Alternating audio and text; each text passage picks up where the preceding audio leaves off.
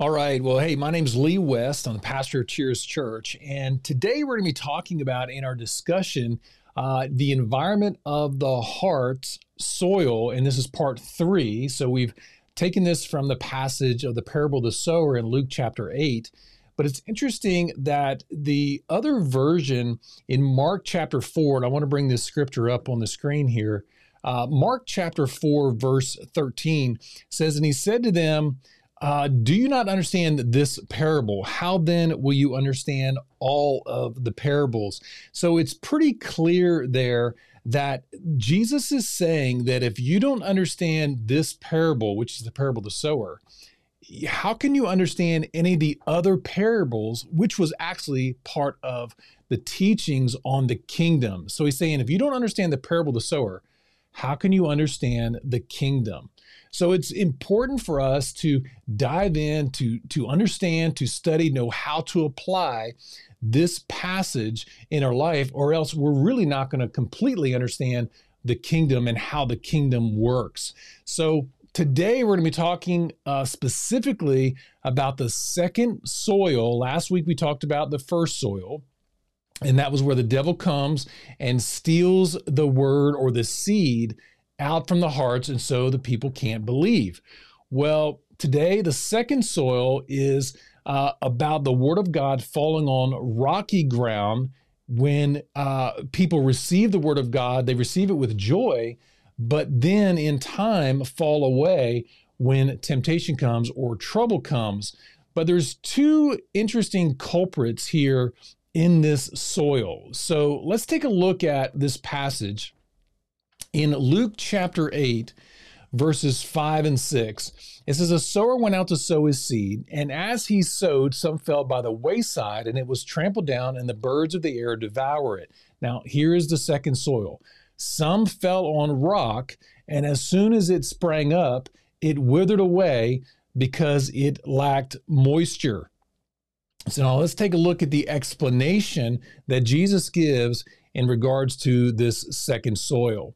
So Luke chapter 8, verse 13 says, But the ones on the rock are those who, when they hear, receive the word with joy, and these have no root. Okay, so no root, that's the first one, who believe for a while and in time of temptation fall away.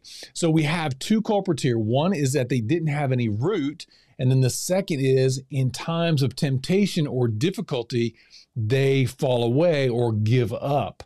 And so we're going to concentrate on those two things today having no root. What does it mean to not have any roots? And then the second thing is why do we give up so early uh, when difficult times come?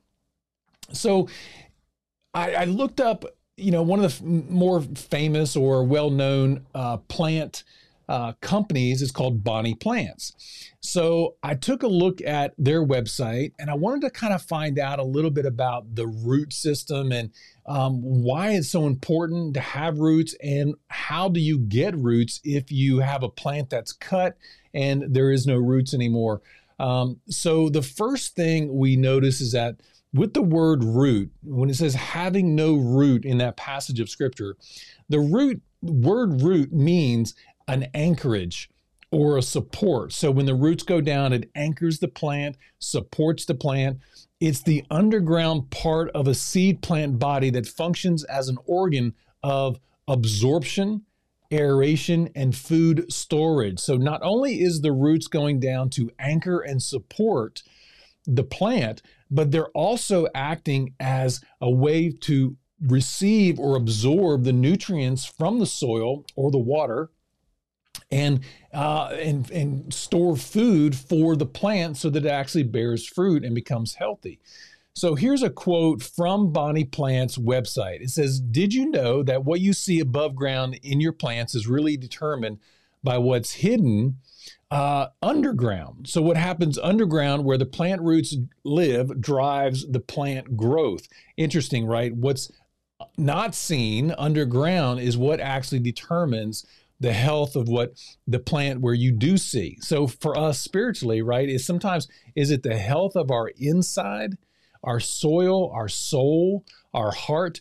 Is it the health of that that actually determines what what happens to us on the natural or in the physical, the the unseen affecting the seen. And then it says here, what do uh, healthy roots do?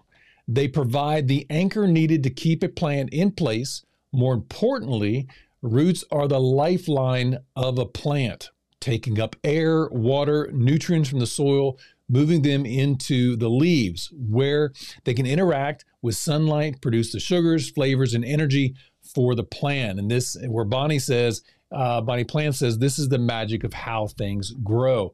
We can see the parallel spiritually in this. Roots are the lifeline of the plant, taking up air, water, and nutrients from the soil and moving them up into the leaves, which is in the natural and physical. In the same way, we read the scripture where it says the seed uh, on the parable of the sower, the seed fell on rocky ground and having no root. So if it has no root, it has no way of anchoring itself, it has no way of absorbing nutrients, and it has no way of actually living or surviving. So the bigger and healthier the root system, the bigger and healthier the plant. So, how big and healthy is your root system spiritually? Are you uh, planted in the soil of God's word? And is it your anchor? And are you absorbing the nutrients from the word of God so that you produce healthy fruit? So, uh, how do you get a system of good, healthy roots? Well, Bonnie Plant says healthy, deep soil. And you know what? The word says that as well. Good seed just means a potential harvest, but that good seed's got to be planted in good soil. We know that from the parable of the sower, the seed was the same for all four soils. So it wasn't the problem with the seed, it was a problem with the soil. And we also know that the soil uh, in the parable of the sower represents our heart. So our heart condition actually determines the health of the seed or the plant that's producing. The second thing here is about giving up this is a very natural tendency for all of us when difficult time comes or temptation. And in the word here, it says it uses the word temptation, but it's it means a time of proving, a trial of a person's fidelity, integrity, virtue, uh, constancy, meaning dependability, faithfulness, enduring. So it's a time of proving of your dependability, your faithfulness, your endurance, and your ability to unchange or unwaver in times of difficulty. So, but here are some common reasons uh, that people give up. These are just very natural. Number one, they want the outcome more than they want to obtain the skill we all dream of doing something big and something amazing and um, and prestigious maybe but how many of us actually put in the work and the steps to become what we want? I, i've often said that i want a black belt in kung fu but you know what? I've never taken a lesson. So, how am I going to get a, a black belt in Kung Fu if I don't put in the time? It's the fact that I don't want to put in the five years of discipline and commitment to get the black belt. I just want the black belt skills, right? And that's kind of how we all are. We want those, we want the fruit, but we don't want the labor that goes into producing that fruit. There's a spiritual significance to this. We all say that we want to be or do something great in the kingdom, but we just don't want to sacrifice the time or energy to do it. And the temptation there is the lack of commitment, laziness, or complacency. The second reason people quit is they fear failure and what people will think when they fail. So, this is like the self sabotage. Um, you see failure coming and you bail out, you make up an excuse to quit or to just uh, leave the project or whatever the, the endeavor that you're involved in, and you bail out before failure actually hits. Um, you self sabotage yourself because you don't want to experience the failure and you don't want other people to see you fail as well. And the spiritual significance there is that we know we are to do something, but fear is holding you back, and the temptation is pride. The third thing, the reason why people quit is they would rather throw in the towel than pivot or make changes. So there's not one company that knew exactly what it was going to be in every way, shape, and form when it's it began from the onset. It just doesn't exist. Name a company that started out that is that looks the same way today as it did when it started out. Companies had to make pivots. They've got to change. Well, the spiritual significance in this is that we also have to change and but it's a wineskin, right? We get used to a certain wineskin, we get stuck in tradition, but here God is telling us in, in, the scriptures put on a new wineskin. Why? Because he wants to put new wine into us. So we have to pivot in our journey to a new wineskin the temptation here is to be stuck in tradition. The fourth thing, reason uh, why people quit is they get distracted by someone else doing it. Um, in an analogy, people give up eating what's on their plate because they want what they see on somebody else's plate, right? The comparison is never good. How many times have you compared yourself to somebody else? Comparison always leads to disappointment. So, distractions, here's the significance, the spiritual significance, is distractions are a way of the devil using you as a puppet, right? Just making you move in all different directions, uh, chasing that new shiny. Well, the temptation here is the lack of patience and self control. And the last reason here why people quit is they don't believe in themselves uh, enough. The most um, overused but uh, brutally true cliche known to man is the fastest route to abandoning your goals is the lack of self belief. So, do you believe in yourself? Do you believe in what God's called you to do? Do you believe in who you are in the kingdom?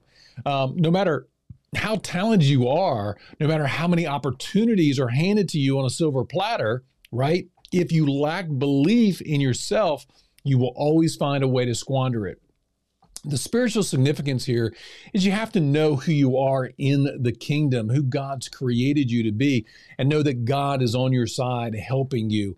The temptation there is doubt and unbelief, obviously. So I know that God has spoken to many of you. You know what you're supposed to be doing in the kingdom of God, but you either have uh, just given up too soon or too early, um, or you've just not planted yourself in an environment that's producing roots. Now, that root system can, can be applied to anything. It can be applied to finances. If you're having trouble financially, how, what kind of environment are you in that will allow you to learn and grow in finances? What books are you reading? What podcasts are you listening to? As you soak in that environment, you're going to grow roots financial roots that's going to help you absorb health into your finances. Same way with your emotions or your spiritual life or relationships or your marriage. What kind of environment are is your marriage in that is allowing to put roots down to absorb good nutrients into your marriage that produces a healthy marriage? So I've got some discussion questions here um, there's quite a few actually, so just bear with me as I, I read these. Number one, is there something from the Word of God that you don't have any root in? Meaning, maybe there's a topic that you just have not soaked in or understand. Could be like healing or God's correction. Number two, if roots need healthy soil to grow and produce, what do you need to do to your soil that will allow the roots to develop and become a solid anchor for the Word of God? But number three, what is the condition of your heart's soil? Number four, are you willing to put in the dirty work that may take years to produce? Are you willing to have the discipline and commitment that it will take to succeed? Number five, are you willing to face your fear of failure and what others may think or say about you to accomplish what God has called you to do? Number six, are you willing to allow a new wineskin a new way of thinking or doing something to help propel your vision. You will need to pivot along the way. Number seven, are you willing to protect yourself from distractions and not compare yourself to others, which is very difficult to do, that may be doing the same type of ministry or work that you're doing? And the last question here is Are you willing to believe in yourself and who God has made you and designed you to be? Embracing the fact that God has got you, that He's with you, that He's working with you, and He's working something in you. Well, I hope these discussion questions will spur good topic dialogue uh, today in your group. I know we're going to have a great discussion on this as well in our group that we have on Sunday.